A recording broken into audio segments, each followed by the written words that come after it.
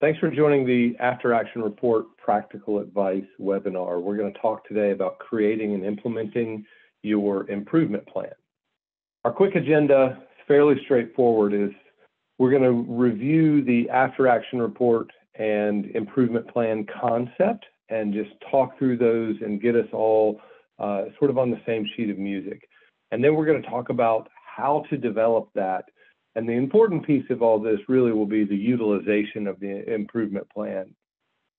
So who am I and why am I talking to you um, and what's this project about? Well, my name is Will Moorhead and I'm the president and one of the owners of All Clear Emergency Management Group.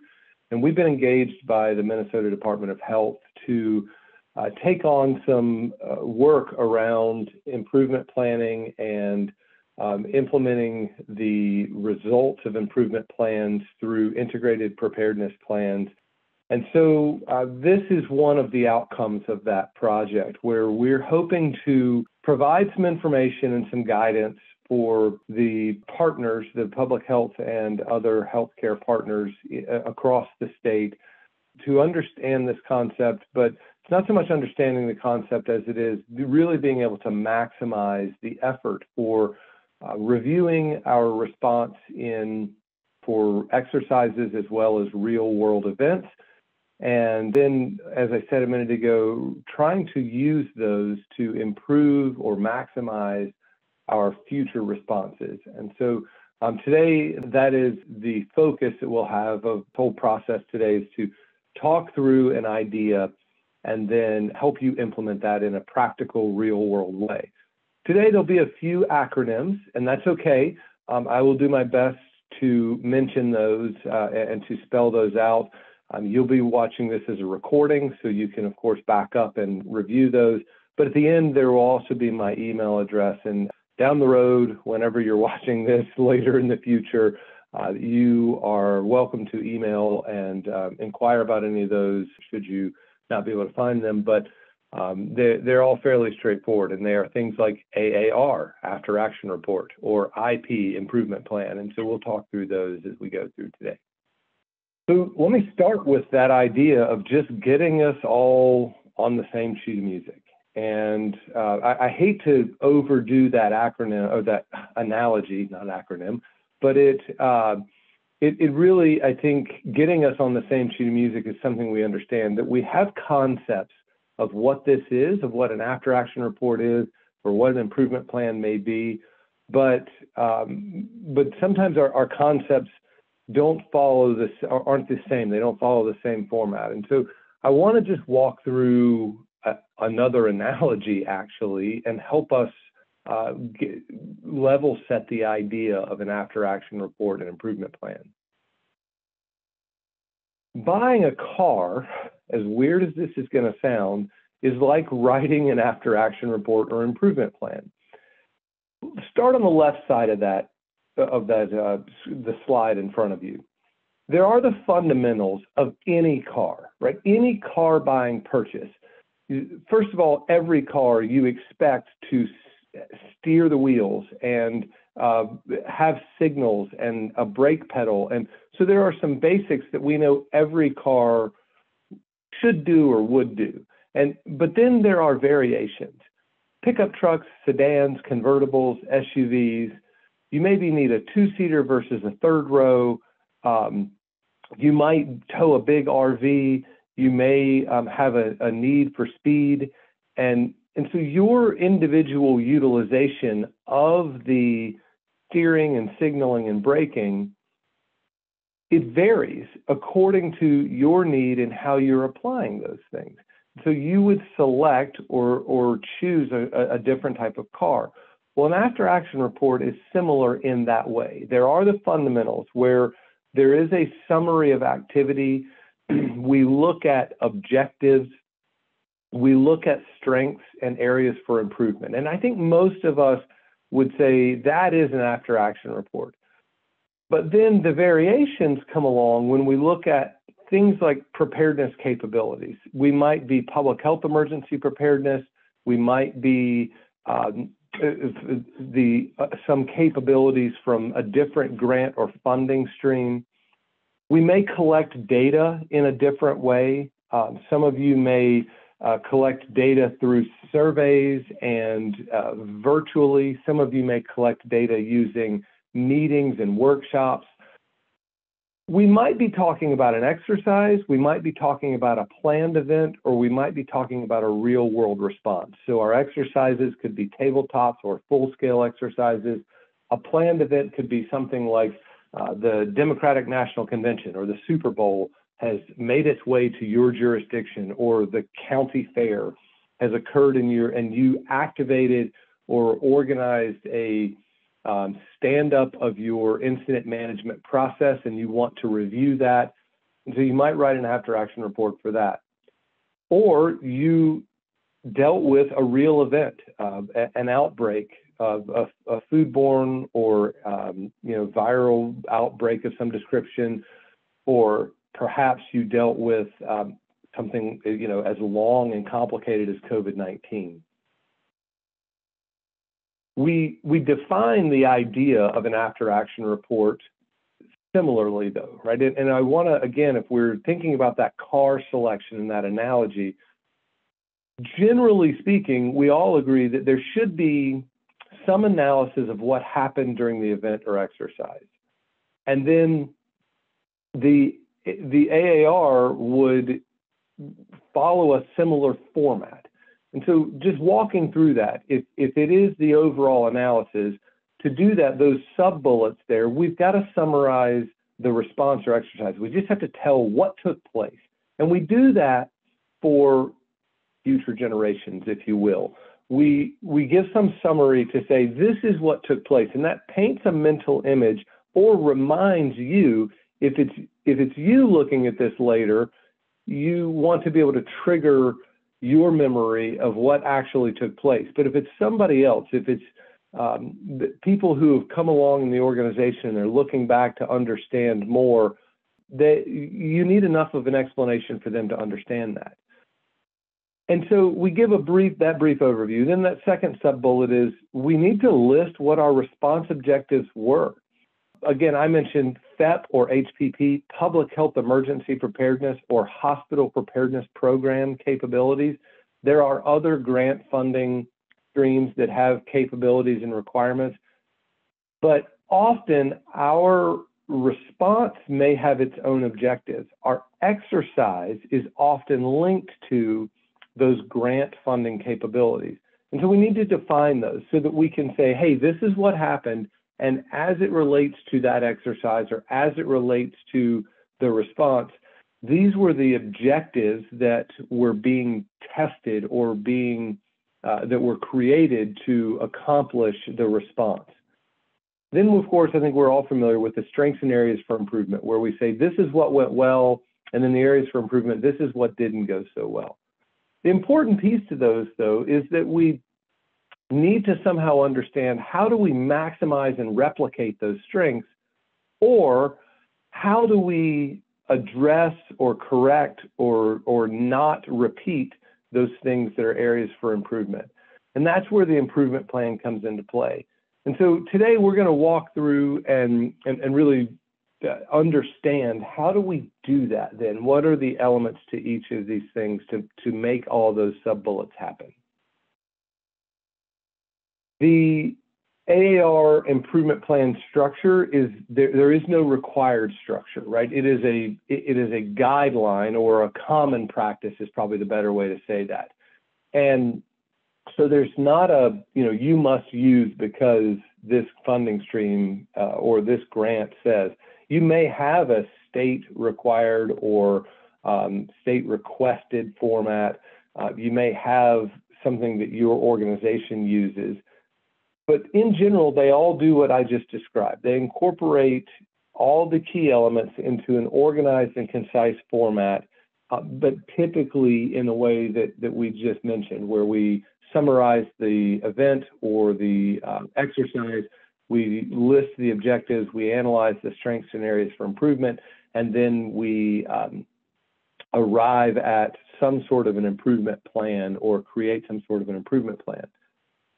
We're going to follow and talk about and, and the Homeland Security Exercise and Evaluation Program, also called HSEEP for short. uh, because, you know, it's government and it needs another acronym. But uh, we're going to talk through that HSEEP process. And most of you are probably familiar with that because you have participated in an exercise. And in today's world, most emergency preparedness exercises follow the HSEEP format, and HSEEP guides us through the after action report process. And so again, if we're, that just helps us be on the same sheet of music. Uh, but that process of what happened, what was your response, what went well, how or what or how can it be improved, and how are you going to improve? Um, that's the general flow and process.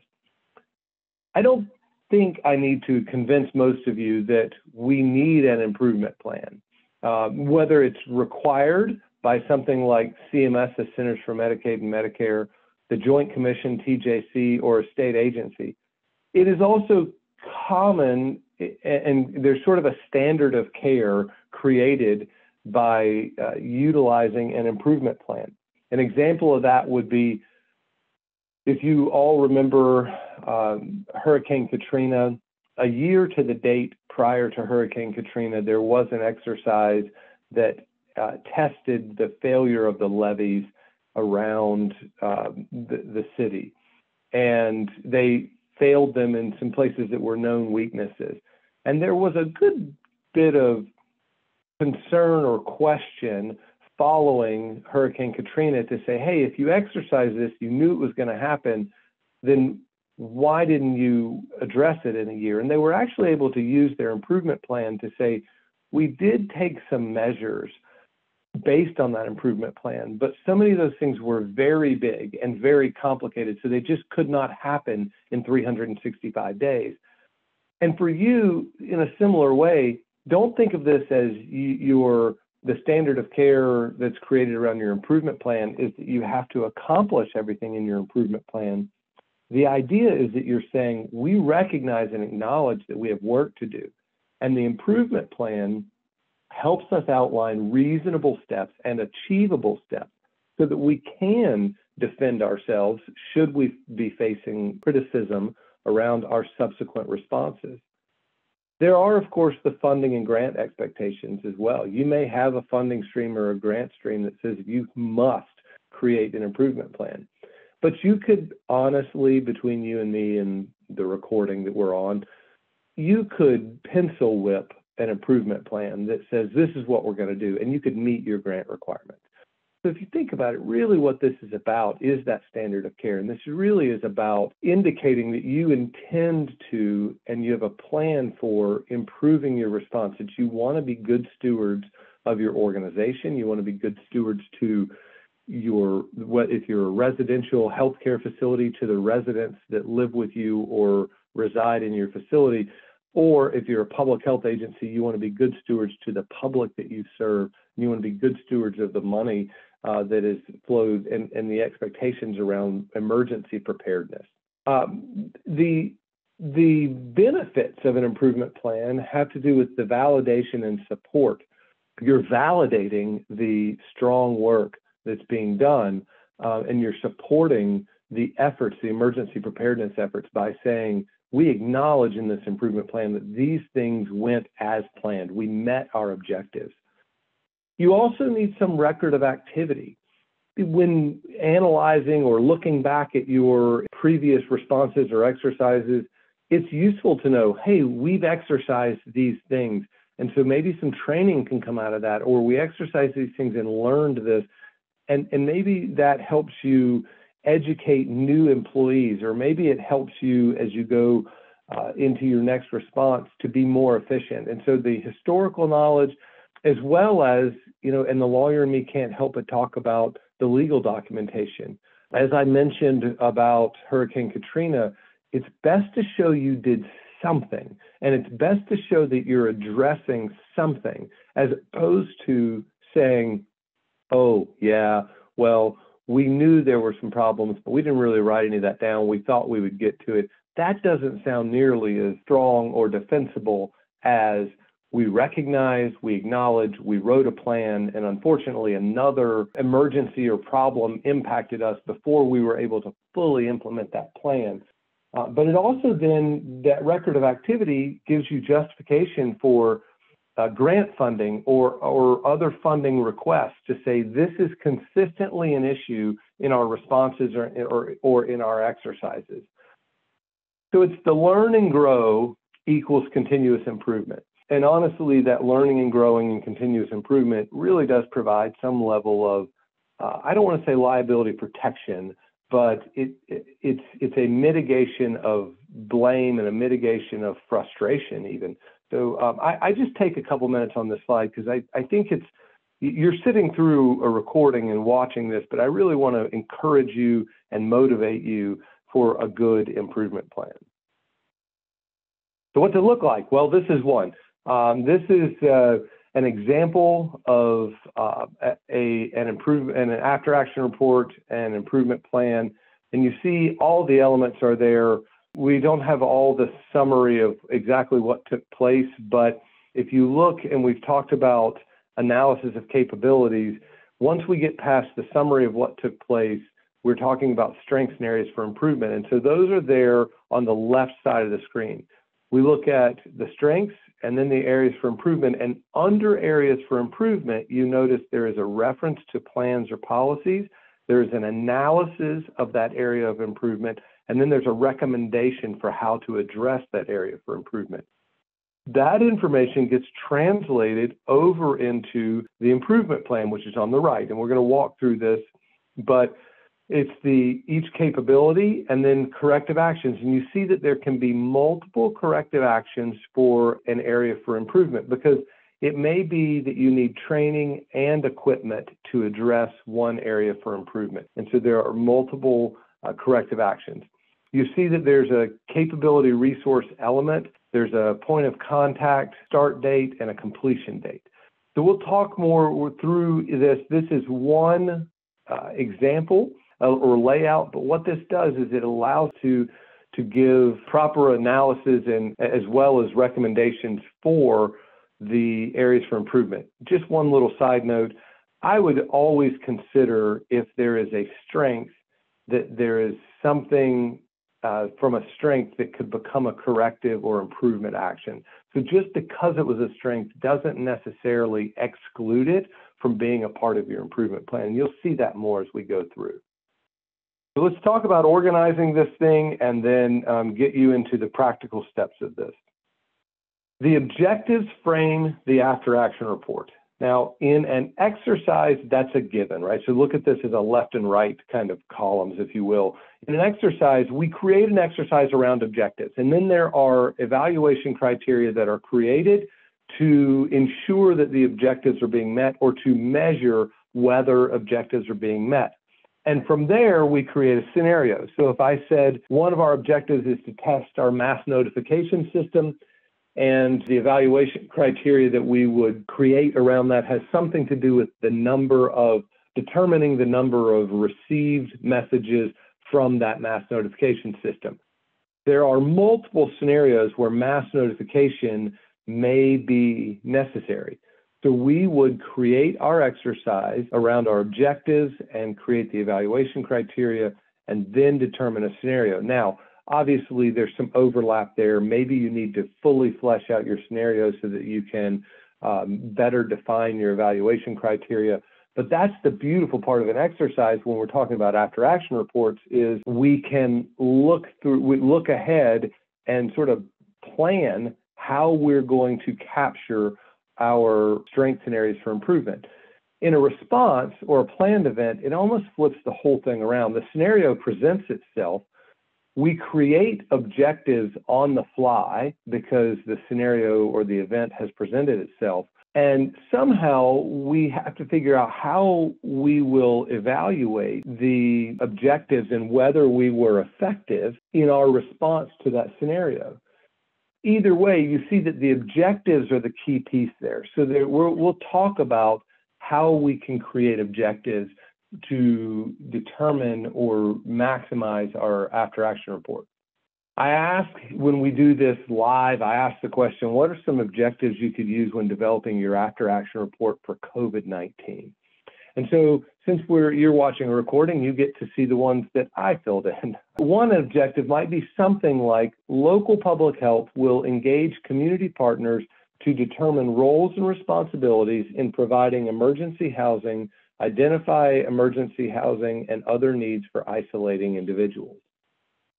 Another objective might be Tribal Health implemented non-pharmaceutical interventions to help slow the spread of COVID, including where necessary, isolation and quarantine, restrictions on movement and travel, social distancing, protective equipment, and barriers. Now, these actually came straight out of real uh, after action reports. I think you can all ima- you can imagine you all it might be you one listening to the recording, but you can imagine that when COVID was unraveling, people didn't stop and say, "Hey, what are the what are the um, objectives we're going to put into our after action report?" What occurred was they went through the response and they began to set objectives about engaging community partners. And then when they paused and looked back, they said, "Oh, that is an objective we need to pull over into our after action report." Um, the same would be on the tribal health side if they said, um, in that example, as they were implementing non-pharmaceutical interventions, they were creating their uh, their objectives for their response activities and said, "Hey, we need to think about isolation and quarantine. We need to think about restrictions on movement." And as you look back at the information, somebody says, "Oh, the objective there was to slow the spread of COVID." And so through isolation, quarantine, or restrictions on movement and travel. And so I'm just I want to make sure you're framing the idea that we, we may have to look back and understand those a little bit, understand our objectives a little bit, but that's really going to be the format of our after action report. So again, in a in an exercise, just a little comparison here. In an exercise AAR, it's a short time period. The objectives are set for us. We have predetermined evaluation criteria. We've identified evaluators who will utilize that evaluation criteria to measure our performance. And when we stop the exercise, we typically have just a, a week or a few weeks to write the after action report. So it's fresh on everybody's mind. In a response or a planned event, they're often longer lasting, particularly those of you in public health. Um, these events last, even if it's a, you know, a foodborne illness outbreak or something, um, they th- those are longer lasting than a four hour tabletop exercise or a six hour full scale exercise or something. Your objectives may change or evolve, right? And I'm sure yours did during COVID for your agency. That your objectives changed as the event was arriving in your state versus when you were six weeks in or 12 weeks in and there was no personal protective equipment and there was no vaccine and we didn't know what we were dealing with, but we had lots of sick people your objectives were different then than they were even then 12 months later when we had more things available uh, for mitigation. So not only are your objectives a little ambi- uh, ambiguous, there's nothing against which to evaluate. You don't have a standard. You're not saying, "Whoa, gosh, we should have been doing this." You have plans and you have guidelines, but because each event evolves differently then you, you have to judge and say, hey, what applied in our plan here and what was right or wrong given the situation? And that's tough to do. So we're going to talk about how to do that in AAR. Um, there's no one designated to evaluate the response. Most of you were probably so resource limited that you weren't remotely going to think about just having a dedicated evaluator. You needed all hands on deck. And then AAR development may require reaching back days or months or in COVID, you know, years. So um, this is a complicated process. So let's talk about developing it. Now we've talked a lot about outlining the content of uh, of this thing, and, and I've given this summary of well, I don't want to use summary twice because that's in the bullet, but I've given this outline a couple of times. But look, we're going to walk through it piece by piece the summary of events, the objectives and structure. We're going to talk about what went well and, or, or, and how to capture that. And we're going to talk about what could have gone better and how to capture that or organize that. The summary of events is what I described earlier. It's a timeline of what took place, the activation, the response, and the transition to recovery. And maybe that is the timeline that you would describe this and you would say in the first few days, this is what took place as we activated. In the subsequent response weeks or months, these are the things that, that took place and that we uh, worked on or encountered. And then as we transition to recovery after several months or whatever time period, as we transition to recovery, these are the types of activities that took place. You're not trying to write every detail. You're trying to describe generally what took place. You might acknowledge different functions or departments within that. You might say during activation, these five departments or functions did these things. During response, those same five functions or departments did these things. And so it would depend on the scope and size of your organization, how you would summarize the event. But again, I'll just underscore that last bullet. It's high level, it's one to two pages, and you're just trying to paint the picture to trigger your memory or to inform someone who is looking at this, you know, months or years after you wrote it. Now back to those objectives, because this is the important portion. And I'm going to give you the reason that says one of three uh, around objectives by organizational structure is I'm going to give you kind of three ideas here. One is the objectives by organizational structure. That is executive leadership team, mid-management, or frontline staff.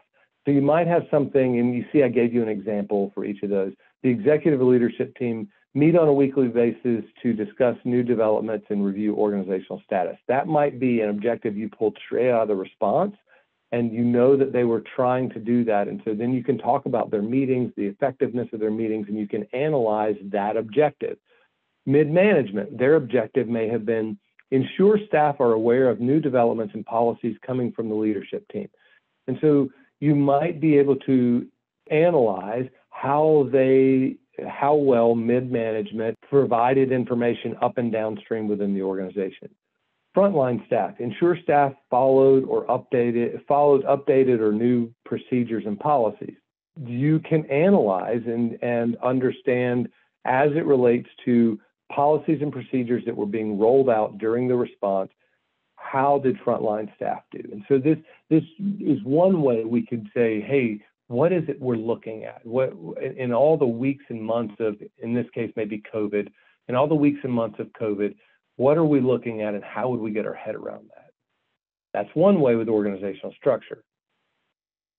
Now, by function, we could say administrative staff, vaccine management, and contact tracing, because those are also functions of the, the public health organization in this case. So the administrative staff accurately track staff overtime levels to ensure uninterrupted payroll throughout the response.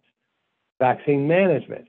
Implement safety pr protocols to mitigate the spread of virus when interfacing with the public. Contact tracing. Ensure contact tracing staff are receiving appropriate rest and mental health support. And if you think back how your COVID response unfolded, somewhere in there, somebody said, hey, we need to make sure that our contact tracers are receiving rest and, and support. Or maybe we didn't say that. And a whole bunch of people, when we did a hot wash or some sort of a debrief, a whole bunch of people said, man, I was absolutely beat up over this whole thing. It just did not, I got no rest, I got no break. It was mentally taxing, it was physically taxing. And so then we could write an objective based on the feedback we heard. If we hear that consistently time and time again, maybe we, and, and then we look at our plans and our plans say we should be providing rest and mental health support. That we can create an objective in a response after action report and say, hey, we need to organize around this function and then look at this objective. And then we can say, did we meet that objective? And I realize that sounds like I'm writing the answer to the test, but what it's allowing us to do is somehow categorize the common information. And so again, in a response, it's a little different than an exercise, right? We're not, we're in an exercise, we are in fact writing the answers. In a response, we're having to look back and say, what would be the best answers and how could we organize that? By phase of the event is a very common way in a COVID after action report. The virus spreads to the US, it spreads within the state, it spreads within our facility or our health system or our coverage area, uh, our public health coverage area, whatever. Um, and then the recovery. Those, those four kind of timeline phases that we could look at. Um, but same thing, we could say if you look at um, its spreading in our coverage area, limit the spread of virus in the organization by following the plan, whatever the plan is that addresses spread of virus. So that might be social distancing, it might be work from home, which is sort of social distancing, I suppose. But uh, so again, we can kind of look back and say, hey, based on these phases, what are some objectives or what are some benchmarks that we want to analyze? And so maybe that's, a, again, another way to think about these objectives. They're just really important. That's going to be the foundation for the rest of your report. So remember, we've had a summary of activity, we create some objectives, and then we have the strengths. What went well during your response? And we, I think we all understand that. What I want to encourage you to do is that second bullet, avoid summarizing as a non-actionable item. Um, let me cover the next two and I'll come back to that one. They are items, the strengths are items you can write into a plan to ensure they happen moving forward. Some areas, as I said, can be a strength under one objective, but an area for improvement under another. So you might have a strength that says something about, you know, we communication, but but we we recognize in as it relates to using the radios, the communication or the walkie-talkies, the communication was very good. We use a, a device we don't normally use. But in terms of communicating the right information, we didn't send the appropriate information. So we used the tool, but we didn't we didn't send the right information. So that might be become a, a strength that's an area for improvement or that incorporates an area for improvement. What I want to encourage you to do though is please don't write things that are not actionable. One of the most common strengths I see in exercises is something that's described as it was a strength that we were all here together exercising and testing our plan. And that is absolutely true.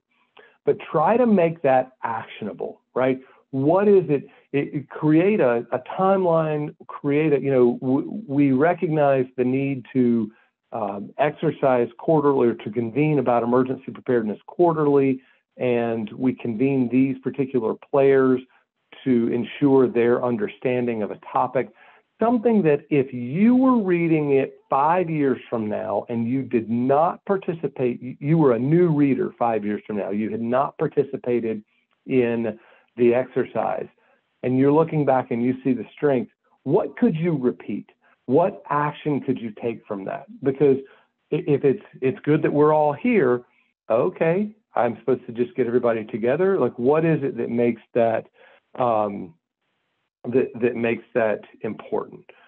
So or useful. So I just I, I don't want to harp on that, but I did italicize it for a reason. Uh, it's I, I, find that one to be uh, really common, and it's an easy thing for you to expand on a little bit and make it actionable. Areas for improvement, which is the bulk of what we spend our time on in an after action report, is what could have gone better. We work to determine the root cause of the issue uh, or what the issue, what the root cause is, and we keep asking why until we find the cause of that issue. We're going to look at root cause in just a minute, but um, our information format is issue, observation, and recommendation. And so, and I showed you that in the uh, HSEEP example, but what was the thing? So just a brief element of radio utilization or utilization of walkie-talkies. The observation or root cause analysis is an explanation of that. Why did we have a challenge using the radios? And then what do we recommend to improve that? So I'll give you some examples. The planning chief depth of bench, that was, and these are again straight out of some examples that were provided um, from Minnesota the planning chief position, the depth of bench, that was the issue. So the analysis is planning chiefs in the initial phases of response had a strong foundation in ICS and were able to focus on the response efforts. Now you see that's a strength, but we're now incorporating it into an area for improvement because as we expand on it, as response continued, subsequent assigned planning chiefs were not trained in ICS, resulting in critical tasks such as IAP or Incident Action Plan development not being understood and used to guide response work, or the IAP wasn't used to, to guide response work. So what's the recommendation? Increase the number of ICS trained staff in the planning chief position using ICS principles, processes, and tools. In other words, we just need to train to create some depth of bench. That's one recommendation, but could there be another one? Sure. The, we could hold annual training or exercise activities for trained personnel to increase familiarity and confidence in the planning chief position. So what we did here was we said issue analysis recommendation. Oh, and look, there's two recommendations, and we added those two. You technically could do the same thing with your strengths. And so if you ever get tripped up as to whether your strength is actionable or useful to put in there, just think what would your analysis and recommendation be for the strength? You could do the same thing. All right, so there's our format. How do we get the information for that? I want to talk through gathering information for your uh, your after action report. And I'm just going to show you some tools and then I'm going to give you some tips and quit droning on so that you uh, can get on with your day. How do we go about this? There are a couple of common tools. One is a workshop, the other is a survey. Uh, there are more ways to do this, but I'm going to break down kind of workshops into formal and informal workshops um, and, and just reiterate that you can have more than one workshop, and, and I'll, I'll, explain that as we go through each of those. And then surveys, I'm going to walk through uh, virtual surveys, paper surveys, and you know just a little bit about crafting the questions and, and what you're trying to accomplish in this process. The informal workshop is really, a, think about it, I sometimes call this a, a, a hot wash, like an exercise hot wash. It's a conversation with people or small groups, and it's just a conversation about what took place during the event. The reason that I say I sometimes liken this or call this a hot wash is it's not really that initial debrief, right? We're talking about a, a workshop, an informal workshop about the response that initial debrief, if you've been in a hot in an exercise hot wash, you, you conclude the exercise and you spend 15 to 20 minutes having a brief like, hey, what were your high level impressions of what took place here? And there's nothing wrong with that, and it's super valuable and information for your after action report. But I'm really, when we talk about this informal workshop, we're talking about getting people to pause long enough to um, to to explain their thoughts and their considerations about the response or about the exercise. So this would be it's often separate from that debrief. You're writing notes and uh, um, and the reason I say write notes and reiterate survey in that bullet is I would I think these informal workshops are best conducted when they accompany a survey. And so people have an opportunity to talk in the group, but then they can go and complete a survey and they have some time to think and, and, and respond to some questions. Um, when you're doing this, eh, you know, you're of course writing notes, but as you're writing notes, ask the some follow-up questions. And so my example there is, you know, you said X. What event or condition or resource would help avoid that situation, challenge, or issue? And pause, think about what I just said there. I'm essentially asking what's the issue, what's the analysis of that issue, and what's the recommendation. So if we do this well, informally, just in small groups or um, individual conversations, if we do this well, we uh, we're beginning to populate some segments of our after action report. I would also say consider mental health support for any, especially in long events like COVID. Um, consider having mental health support be a part of your informal workshop. Now, whether you have a mental health counselor or professional there with you, or you just remind people that that support is available, um, that's just a, it's it's one of the things I should probably should have italicized in here. We heard that time and time and time again when we facilitated workshops and debriefs following COVID uh, for our clients, and and people said uh, this is triggering a lot of emotion and it's triggering a lot of and things that I had kind of forgotten about or put away. So I just encourage you to to consider that because uh, I think it surprises your participants sometimes. And we had very good success. We uh, had several clients that did that. They offered uh, and made very clear, you know, what the mental health resources were or their um, their peer support resources. And um, so I would just encourage you as a best practice with that. Couple of other considerations there. Uh, I mentioned a hot wash. A hot wash is the, and, and just within the informal world, a hot wash is the opportunity to examine, by definition, by the way, this is not Will's definition, um, it's the opportunity to examine response actions by asking what went well, what challenges occurred, or what didn't go well, and what needs improvement. So that's a, you know, a hot wash is, again, sometimes separate. And I would just encourage you to focus your hot wash conversations a little differently or your rapid debrief conversations a little differently from your informal uh, gathering data for your after action report. Uh, one is, again, initial impression. The other is beginning to talk and analyze about those initial impressions. The other thing is, is that uh, you, when you're doing these informal workshops, you have some considerations like exploring racial equity or equity issues of people with access and functional needs, these things that maybe weren't the very initial, maybe they were, but maybe they weren't the very initial impressions of people. And so you have time to consider those or to dive into those, or even to just have a conversation, an informal workshop just about that. The third bullet, exploring innovative practices that we should consider incorporating into daily and work operations and in future responses.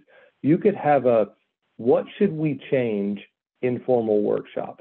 You could have a how did COVID impact racial equity in our community or in our public health jurisdiction? You could have a, a informal workshop just around that topic, not necessarily the entire COVID response, right? It's just the it's the COVID response as it relates to racial equity. Um, so just some considerations for that uh, informal workshop. For the formal workshop, it's a meeting or workshop with a specific agenda intended to address the event. It, it's again separate from the hot wash, but it's think about it. We're bringing people together, you know, you know, 20 or 30 people in a meeting, and sometimes bigger than that. And we're we're focused on understanding the response, and so we need to be more structured with a larger crowd um, a very defined purpose. We're analyzing the elements or phases of the response, uh, you know, usually chronologically. And so what I do in formal workshops is we say, okay, we're going to start at the beginning of, and, and my most recent experience with these is obviously COVID, but um, we say we're going to start at the beginning as COVID was coming to the United States and, and you were first being notified about it you know, let's talk about your response and, and your organization's response and, and understand how you used your plans and how you communicated. And then as it gets into the state, that's our next phase, or as it gets into our community and we're fully activated, uh, you know, and so we can we can create. We often spend some time when we're writing the agenda for these. We spend some time with the client talking about uh, what those phases may be that so that we can keep people's minds focused partially because there's usually something that a participant really wants to get off their chest and so we want to capture that at the right time in relation to other things and also we want to do that because we naturally as humans we remember the most recent things better than those in the beginning and i found it really interesting when we were doing as we've been doing this with covid that people would share um, commonly they would say, "Gosh, I had not thought about this at all until I really stopped and thought about the beginning of this, or you know whatever piece, whatever phase we're talking about." Um, so it, it also just helps them trigger their memory of some things. Um, there are lots of resources you can use to capture information, and as you get into a larger group and a formal group, uh, consider there are tools like Poll Everywhere, SurveyMonkey. Um, you can have written input forms. You can have um, electronic input forms. You can use small group discussion. But I would encourage you Um, if you've got more than 10 or 12 people in a room, I would encourage you to look at some resources to capture information simultaneous with the conversation. So maybe you have some conversation and a few people speak, and then you post a question and let people, um, or you post a quick poll and let people respond to that. Um, and, and that can stimulate more conversation, but it also is another avenue to capture information in a crowd.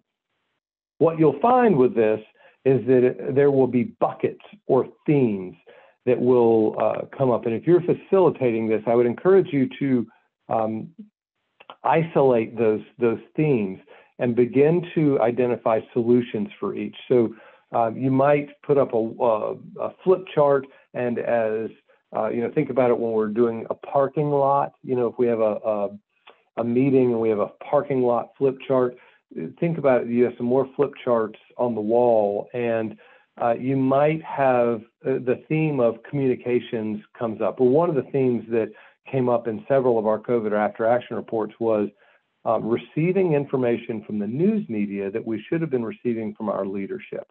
And so, however you would categorize that bucket, um, we tried to categorize that bucket and then the sub bullets under that to understand well what should have been received or what could or what was the what was the expectation of receiving information from leadership and what we were able to do then was to talk through solutions to that. Now, those solutions became things that needed to go into plans. They needed to be agreements de- determined between leadership and uh, you know, who was going to, who was responsible for disseminating what information.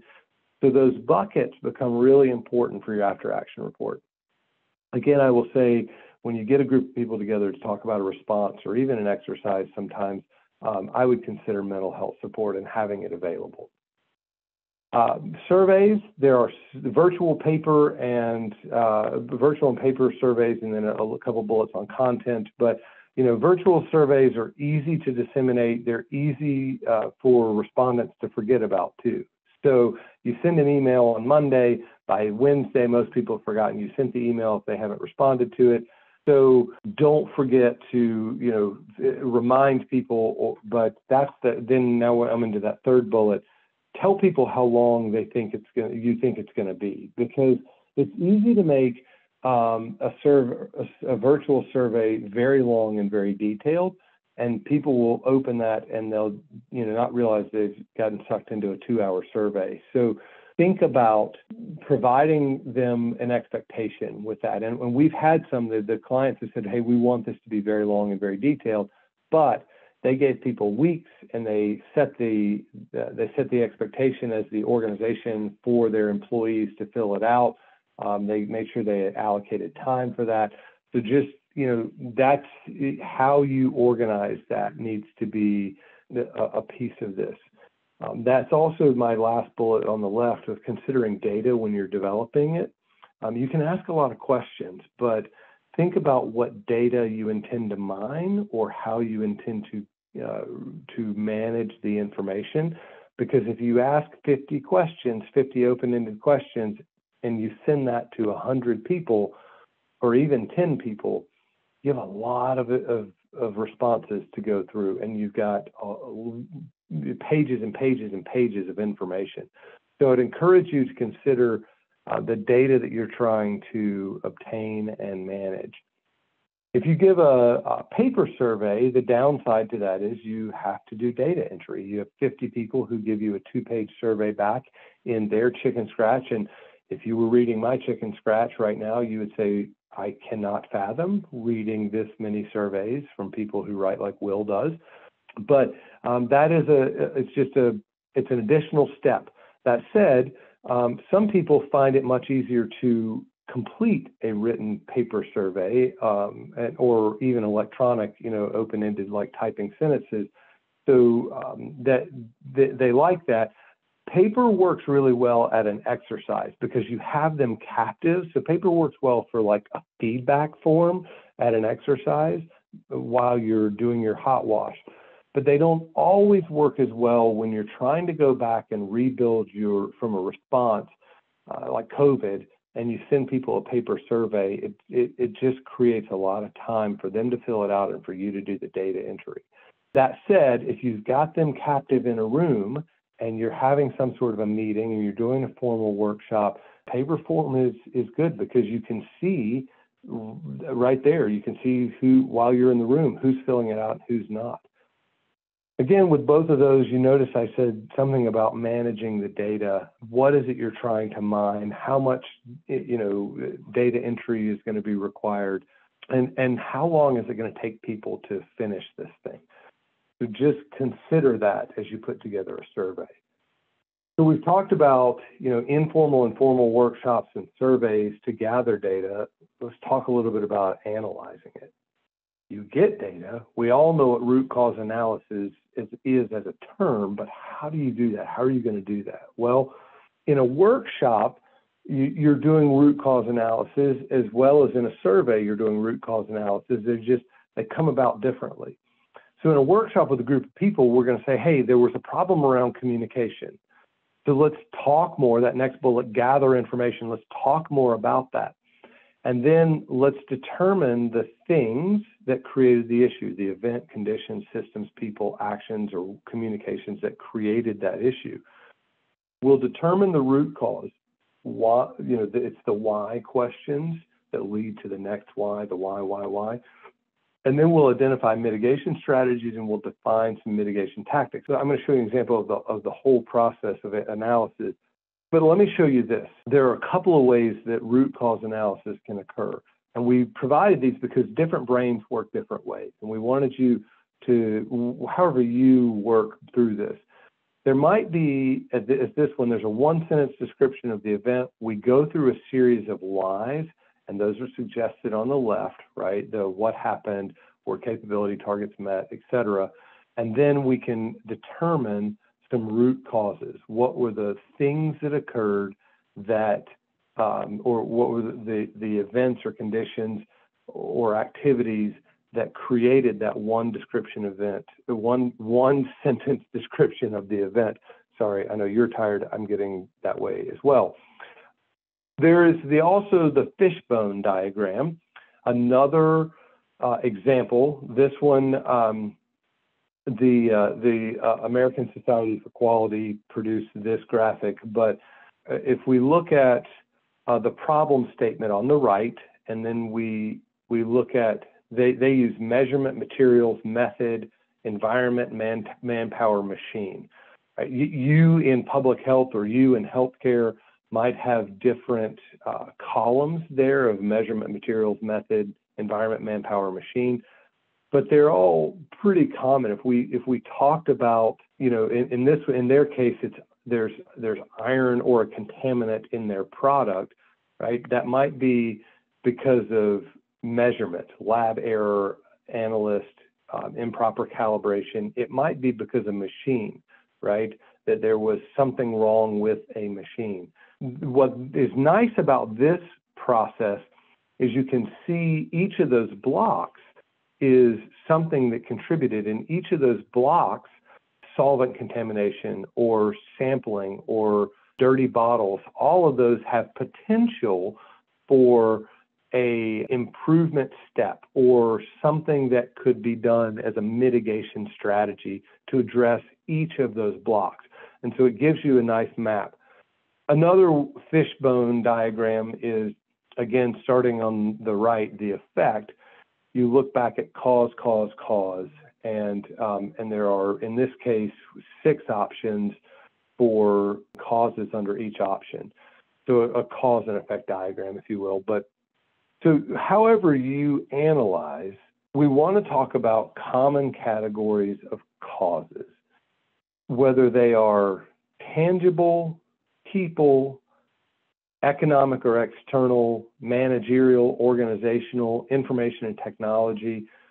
Interestingly enough, th- this is a fairly common list of categories of causes, but it was very common to see these things come out in COVID after action reports.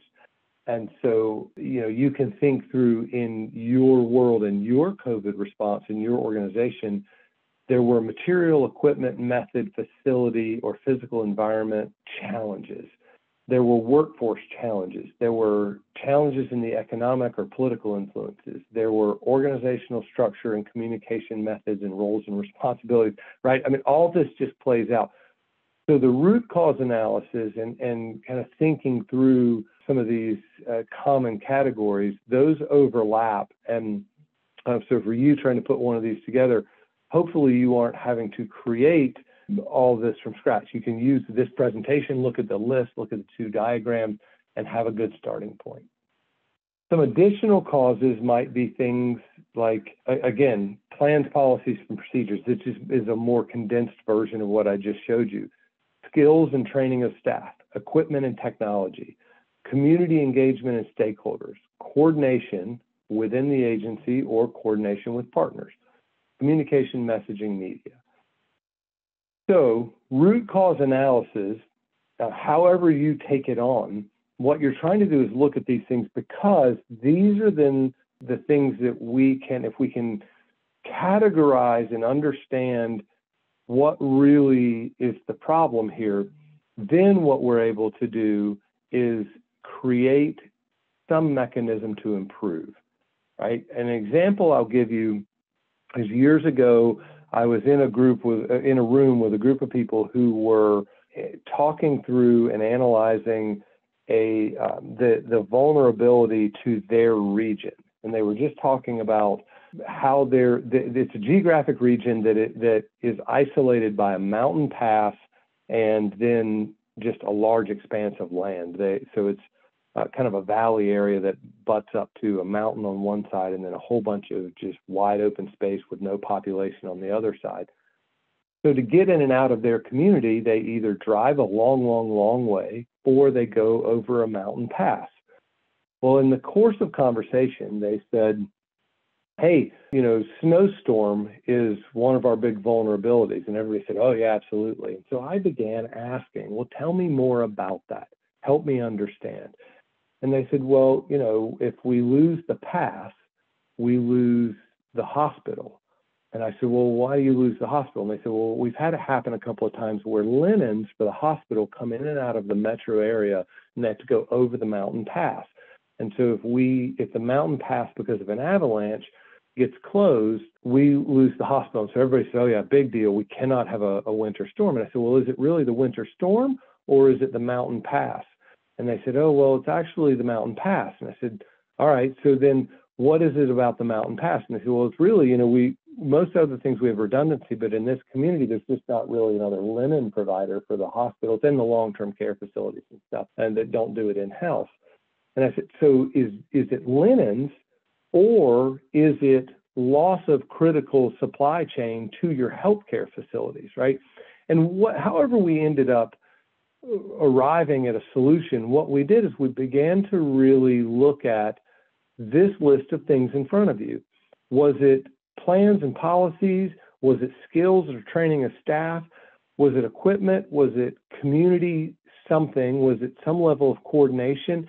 What it turned out to be was a couple of things. There was a communication challenge, is that people needed to know when the healthcare facilities were strained or stressed by their lack of supply chain or potential lack of supply chain, because then the other community partners could adjust. And so there ended up being a planning component, a communications component, a logistics and supply chain component.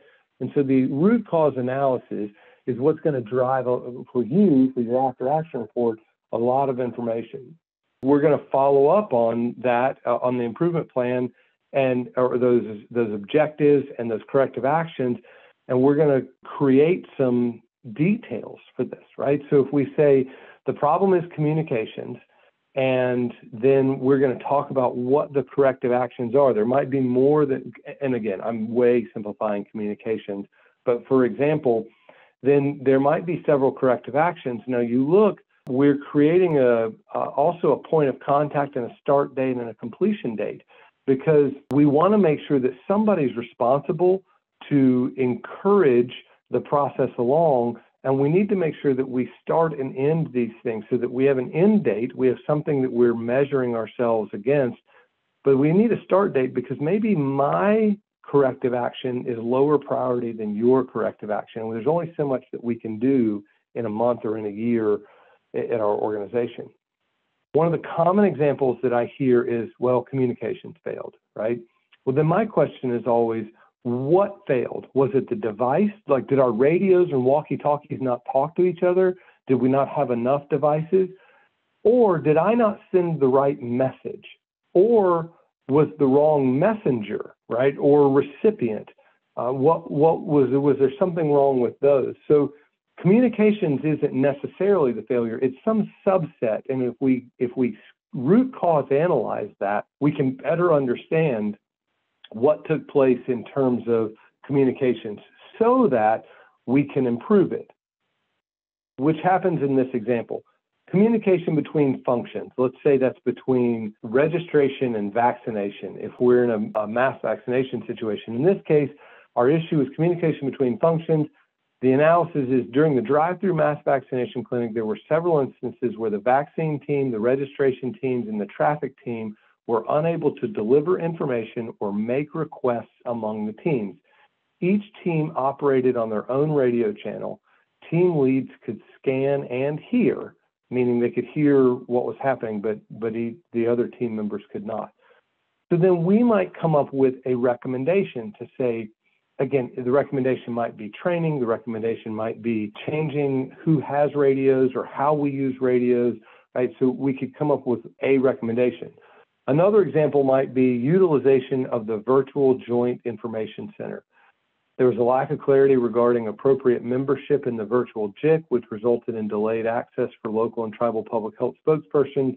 The virtual JIC was not fully utilized by many local partners to access current and important information. One recommendation might be something around developing a process to approve requests. But that's probably not the only recommendation. Another one might be developing some sort of an onboarding tool or a training tool to effectively use the, the virtual JIC, right? So we could have multiple recommendations, but you see, again, it's that root cause analysis. We're on the home stretch. I just want to talk about if you're creating your after action report and you're creating that improvement plan, then how do you use this? And I said at the beginning, I would propose this is probably the most important part of this uh, of this whole process. Continuous improvement process isn't new. There's a couple of diagrams in here of what this looks like. So I'll give you a couple of examples, but you know, identify, plan, execute, review. If you follow that around, there are um, opportunities that are identified in the process. You determine how the process can be improved. You implement those changes that you suggested in the planning phase, and then you an, analyze or review the effectiveness of those changes, right? And so, and most of us do this day in and day out with a lot of our work stuff. We might be, it might be, you know, plan, do, check, act and we're all accustomed to okay what are we going to do? Um, let's do what we said we were going to do. And then we evaluate and see did we and determine whether we met our expectations. And then we take some more action to see do we need any changes and where do we go from here? But the idea is that an improvement plan is not something that should die. We want to keep it alive. And i know a lot of you are saying it will we get so busy and we have so much going on. Can we really realistically do that? I'll just propose a couple of ideas. To keep the IP alive, you need leadership support. You need a champion and you need to acknowledge utilization of the improvement plan. Doing that in small bites regularly. So let me explain each of these. I think your leadership in your organization's got to be on board to say, we are going to improve our emergency preparedness. And so they've got to allow for the time and effort for meetings, for training, for conversation around this. They've got to uh, allow for time of whoever's going to sit down and rewrite some plans or update some plans. And that's where you need a champion. I'm not saying, and let me be very clear, this is not the person who is the poor sap that gets everything saddled on them. What I mean is you need a champion that says, hey, we need to have a meeting about this. And the person who's reminding everybody to do the things you said you're going to do. And um, hey, by the way, we have some due dates coming up in a couple of months. Have we made any progress on these things? That's what I mean by having a champion for this. Somebody that's just focusing on moving us along, gently moving us along as an organization. And I think you've got to acknowledge that your improvement plan is a living document when you're using it through the year. And what I mean by that is if you have a new plan that gets that you're doing some training on the new plan, whatever the new plan is, acknowledge and say, hey guys, this came out of our improvement plan. This is something we identified in a couple of exercises. Or if you purchase some new equipment or you apply for a grant or you know, what are you, you're conducting an exercise, acknowledge that the, hey, this was, we identified in our improvement plan that we needed more training or more familiarity with whatever process. And uh, so I think it's really important that you, uh, that you acknowledge that and people understand, hey, we are in fact trying to address those shortcomings. I also think this is just the lawyer in me. Those are those steps you can take if, should you need to defend yourself, whether in the court of public opinion or an actual court. Should you need to defend yourself, you can say, we did these things and here are the dates we did them. And so we were making efforts, right? That's what reasonable people do given the circumstances. And that's a great defense to say we were doing something and here's a record of it. So acknowledging the utilization of the improvement plan. The reason I say small bites regularly is, and we all kid that, you know, you eat an elephant one bite at a time, but the reality is not only is emergency management and emergency preparedness an elephant, and you should take it one bite at a time, but also it really creates more consistency and more familiarity when if you have, let's say you have an hour of information, and I'm embellishing, I know you've probably got 10 hours of emergency preparedness information but let's say you've got an hour's worth of information.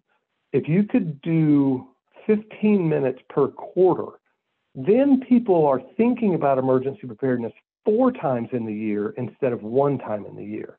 So I'm a big proponent of spreading this over the course of a year and spreading it over time. Um, and it, it, it, prevents burnout, it increases awareness throughout the year, et cetera. Other ways that you can, and related to what I just said with throughout the year, you can tie it to your joint risk assessment or your HVA, your hazard vulnerability assessment.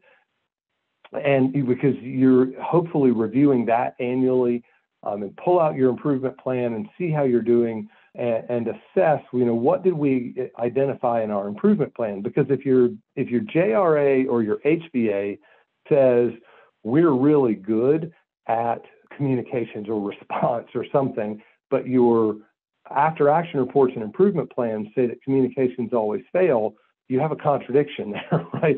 So you get more some more honest understanding of yourselves when you look during your uh, risk assessment if you're looking at your your improvement plans. You can tie it to grant funding and subsequent projects. I mentioned this a few minutes ago. If you uh, regularly find yourself saying, gosh, we need or we have a gap, then use that, pull out the, your improvement plan and say for the last three exercises, or it was identified, you know, overwhelmingly in our COVID response or whatever, pull out that after action report and improvement plan and use that when you're making your grant funding request. You will address it through your integrated preparedness planning and um, the uh, the integrated preparedness uh, plan is a uh, there's another webinar and another piece of the project around that. How do you do that? And that's uh, because IPPs are a requirement um, for some of you in your funding. So um, we'll more coming on that. But again, integrating your improvement plan with that integrated preparedness planning process. And then um, I, again, I keep mentioning utilizing during a request or demonstration of need whether that's an internal demonstration of need or request for funding or an external one like a grant. So that's a lot. That that is almost you know 80 or 90 minutes of straight information for you. The good news is you can back up in the recording and uh, review some of this, and you can uh, process it at your pace. But I, I want to reiterate a couple of, a couple of things. You, for your after action reporting process, gather your information and get it into a structure, right? So your objectives, your strengths, areas for improvement, and then an improvement plan. I, I highly recommend that no matter how pretty or ugly your document is, do that. Get it into a structure. Just get the information dumped there. I promise you, promise you, promise you. And once you get it into a structure, the content will be much easier to expand on, organize, and it won't feel as daunting. The daunting part is just getting it all kind of compiled. That's where sharing it with key staff members for comment and review comes in, because if you can get it organized, they can look at it more quickly. If you can have some meetings with some people and do those informal or formal workshops and gather some information and get it all crammed into some sort of a AAR structure, then they have had the benefit of participating in that meeting and now they're reading what's there. And, and somehow the brain seems to work really well that way that people have good review feedback. And then you can integrate and finalize the document using their feedback and comments. And then you just need to follow up. And that's probably the biggest challenge is when when life begins to return to normal or whatever level of normal we will experience from COVID, it'll be tough for people to look back at their COVID AARs and improvement plans because it, just other things will take precedent. And when we get six months away from an exercise, it's, uh, you know, six months following an exercise, it's difficult to remember to pull out that improvement plan and look at it, especially a year and six months. You know, it was 18 months later. So that bottom bullet is really the tough one. But um, that's what I would encourage you to do is to try to integrate that into some other activities, part of your normal annual activity. With that, I said this, uh, you're, you're listening to a recording. Um, you may have some questions. That's actually my cell phone and my email address. I welcome your questions. And if you are looking at this a year from now, um, that's fine you feel free to reach out to me. Um, we uh, uh not going to send you a bill for that, um, but I hope if you've got questions on this topic, we can help you maximize your improvement plan and your after action report because this is, um, I, I, believe, really, really important for what we do to improve as emergency preparedness professionals. Um, not us at all clear, but you as one of those. So uh, thanks for your time. Appreciate you wading through this webinar, and uh, we hope that you have found some benefit from this, and good luck with your after action report and improvement plan.